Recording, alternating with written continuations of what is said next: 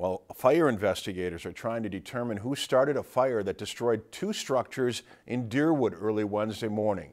The blaze has been ruled an arson and it heavily damaged Salem West, which is a donation center that serves as a storage site for donated clothing and household goods delivered to families in need.